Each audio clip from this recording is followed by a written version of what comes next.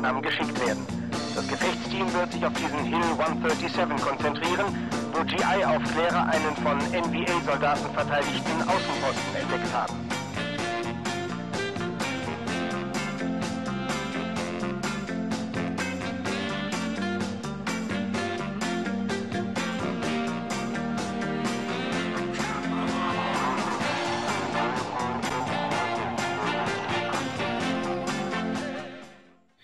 Herzlich willkommen hier am Hill 137.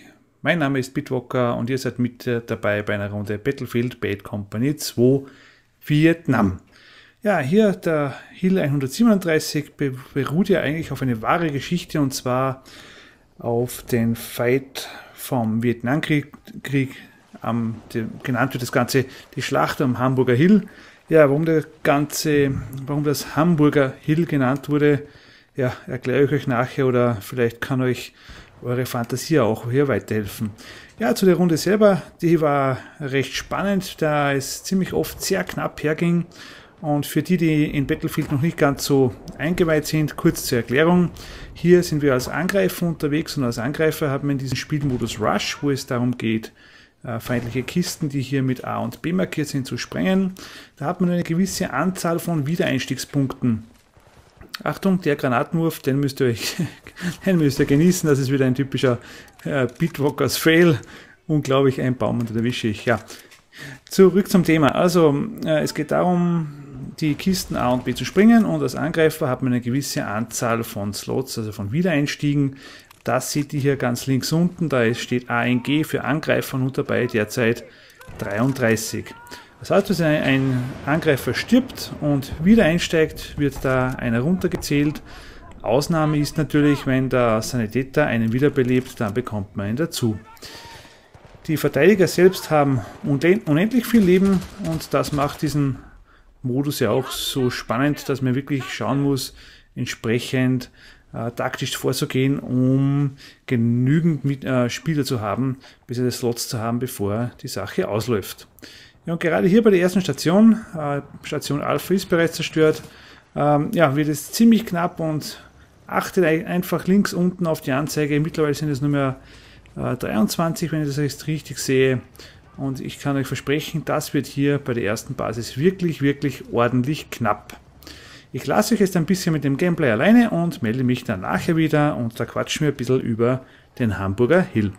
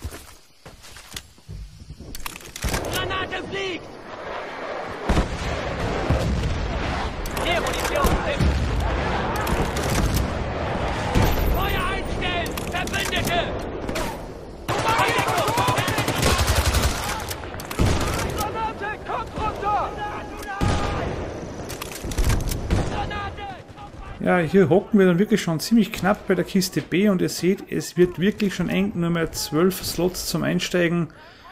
Ja, das habe ich mir, ich habe eigentlich gedacht, ja, die Runde ist gelaufen, das wird nichts mehr.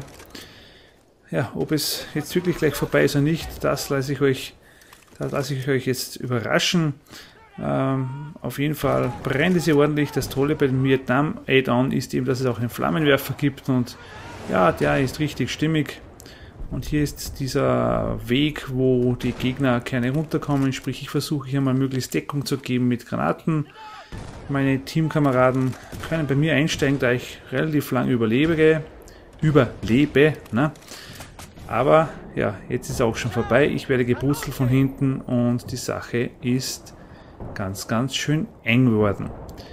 Beim nächsten Einstieg achte bitte darauf, wie viele Slots wir noch haben. Und ihr werdet sehen, das wird wirklich eine haarige Angelegenheit. Es sind dabei zwei Slots hier und es geht eigentlich nur mehr um die Sekunden. Einer wurde wiederbelebt, das sind jetzt wieder drei Slots. Der Countdown läuft, die Kiste, die Sprenglagerung zieht, zieht, zieht und ja, sie geht hoch und jetzt haben wir wieder volle Truppenstärke. Ja, zurück zum Hamburger Hill, zur Story davon. Das war ja im Vietnamkrieg damals, äh, vom 10. Mai bis 20. Mai. Und die Vereinigten Staaten und die Südvietnamesen wollten ja da eben Nordvietnam angreifen.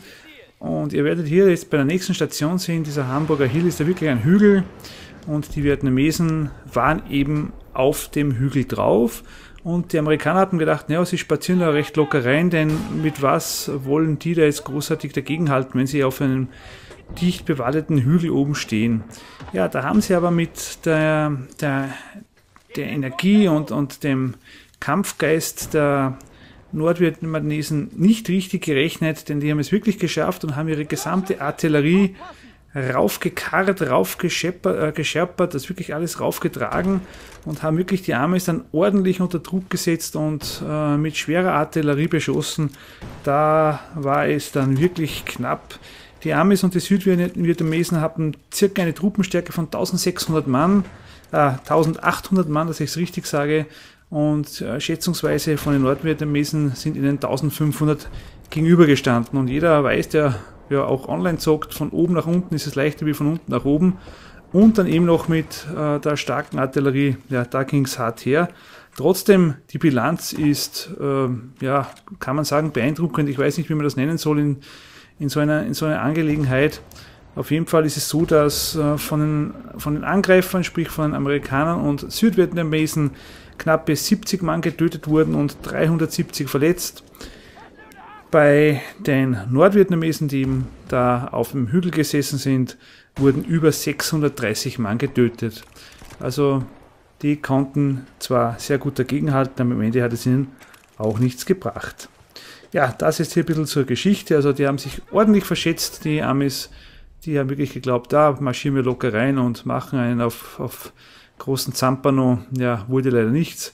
Gewonnen haben sie trotzdem. Es hat ein Weilchen gedauert und sie haben das Ganze übernommen, obwohl trotzdem etliche Vietnamesen noch geflüchtet sind und sich vertschüsst haben. Ja, und hier sind wir nun auf einer Position, wo man diesen Hügel eben schön sieht. Also erste Station war doch noch im Bereich von dicht bewaldet und urwaldmäßig und hier sieht man schon der abgefackelte Hamburger Hill. Die Map gefällt mir übrigens sehr gut, denn diese Feuereffekte und die Baumstämme, die so glosen und brennen, wenn man die wegschießt, die Funken fliegen schön, äh, ja, Macht fahren. Ja, dass ich hier mache, hier ganz ruhig auf dem Boot mit der MG zu ballern, ist taktisch natürlich nicht so klug, denn ja, was fällt einem Sniper nicht leichter, als mich hier wegzuballern? Natürlich macht er das, ja nun nicht, würde ich auch so tun. Bis jetzt war ich immer als Soldat unterwegs mit der M16A1. Ich bin einmal umgestiegen auf den Aufklärer, sprich den Scharfschützen. Habe mir da die M40 geschnappt. Äh, natürlich das 12-fach Zoom, die Magnum-Munition.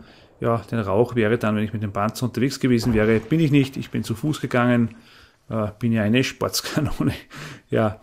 Ähm, ja, Mündungsfeuer ist immer so eine Sache. Mündungsfeuer ist toll, man sieht, wo der Gegner ist. Man muss natürlich versuchen, dass man beim Anlegen und beim Zielen und Schießen dann eben schneller ist wie dieser, denn sonst äh, gehört man der Katze. Gerade auch hier ein Mündungsfeuer entdeckt und da hinten versteckt er sich auch schon. Und leider ging der erste Schuss einmal ins Leere. Das Problem natürlich ist auch, der Gegner oder wie selbst auch, wenn man auf der Sniperjagd ist, die sehen den Kondensstreifen der Kugel und der Gegner genau im richtigen Moment hat einen Schritt zur Seite gemacht äh, der will nicht zurecht. Aber wir haben natürlich die Artillerie auch noch da, sprich, wie es auch im normalen Modus ist. Markieren, Artillerie feuert und jetzt werdet ihr gleich sehen, den Sniper, der gehört gleich der Geschichte an, jawohl, 50 Punkte, Gegner erledigt.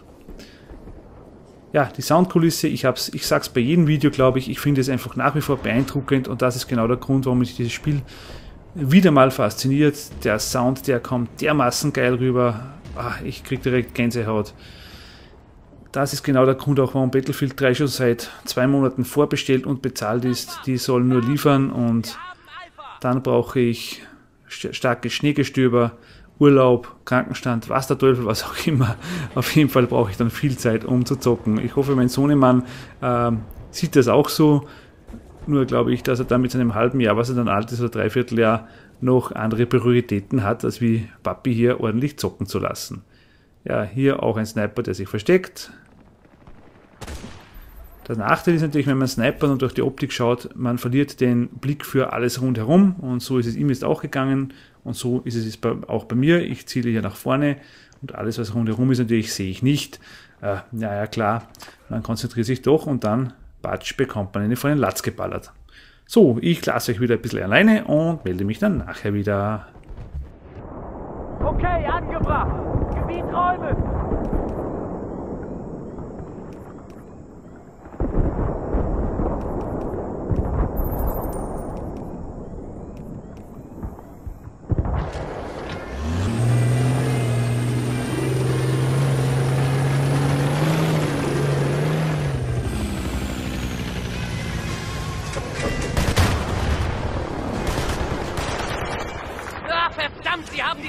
Entschärft. Wir müssen noch eine finden.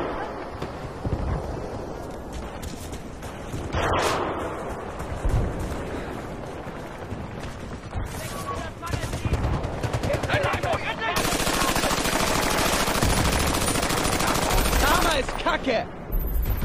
Bleib bei ihr!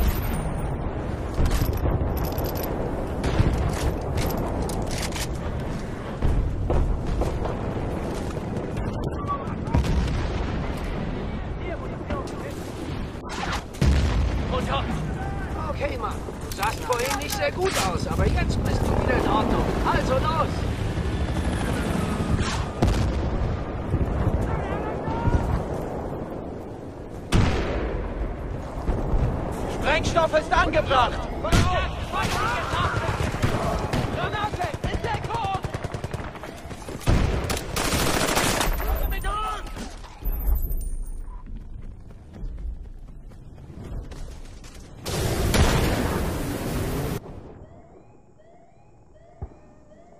Sie haben den Sprengstoff entschärft.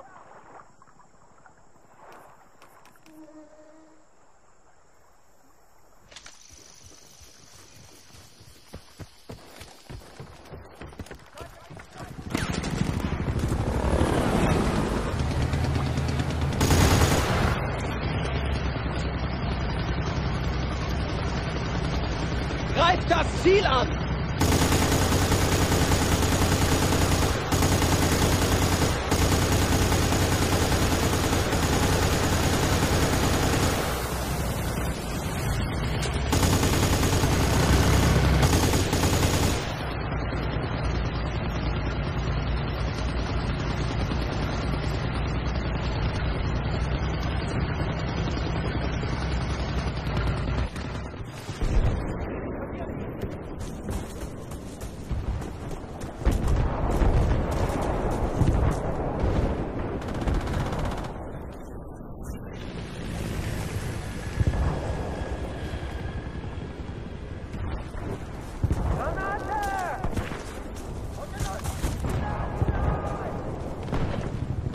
Jetzt was gegen die Schmerzen.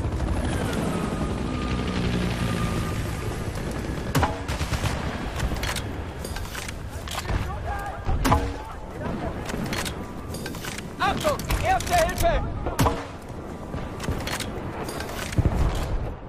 Ja, die Kiste Bravo ist hier recht gut versteckt, hier in einer im Bunker, in den Schützengräben. Aber ich muss sagen, die Mitspieler, mit denen ich hier unterwegs war, die haben es recht geschickt angestellt. Also da wurde wirklich taktisch gut vorgegangen, auch wenn dieser jetzt gerade stolpert hier. Aber natürlich kennt man seine Ecken, kennt, kennt die Plätze, wo gerne geschossen und verteidigt wird.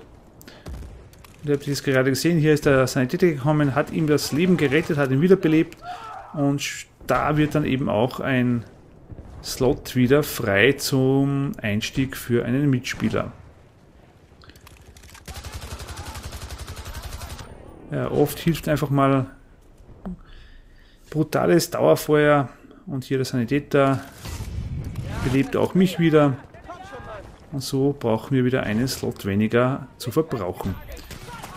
Ja, dafür, ich weiß nicht, was ich wollte, habe ich mich hier gebückt, wollte ich, mich, wollte ich ihn begrüßen auf die chinesische Art und Weise. Auf jeden Fall war er anderer Meinung und hat dafür gesorgt, dass ich mich ein bisschen zur Ruhe setzen kann. NBA hat die Oberhand. Kommt schon. Ja, hier hat sich dann gezeigt, dass es einige gibt, die sich hier ordentlich einlisten. Beim Spawnpoint bereits die gegnerischen Spieler hier.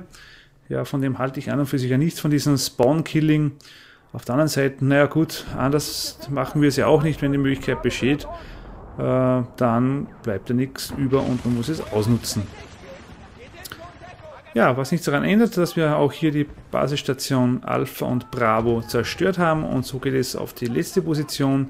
Und diese sind recht ziemlich, also recht schwer einzunehmen. Die befinden sich ganz oben am Hügel an der Spitze, sind sehr gut zu verteidigen, da wirklich äh, viele Schützengräben dort sind, viele Wände und man nur zwei oder drei Zugangspunkte zu den jeweiligen Stationen hat. Also da muss man auch ordentlich Gas geben und ordentlich ähm, Druck auf die Gegner ausüben, damit man hier mal reinhuschen kann. Ich habe es dann einfach so gemacht, ich bin einfach bei dem Panzer mit, mit äh, zugestiegen, nachdem hier die Kletterpartie dann eher ins Auge ging, aber das lasse ich euch jetzt genießen und ja, bis nachher.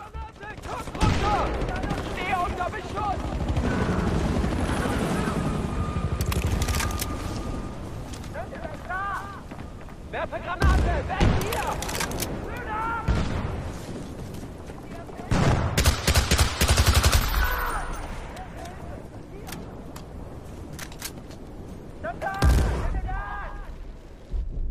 C4 ist angebracht!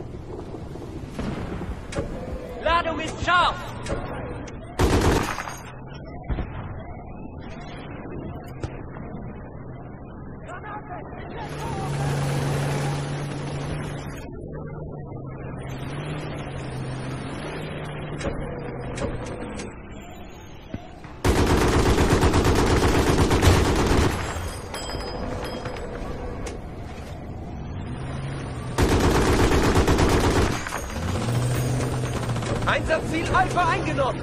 Alpha gehört uns.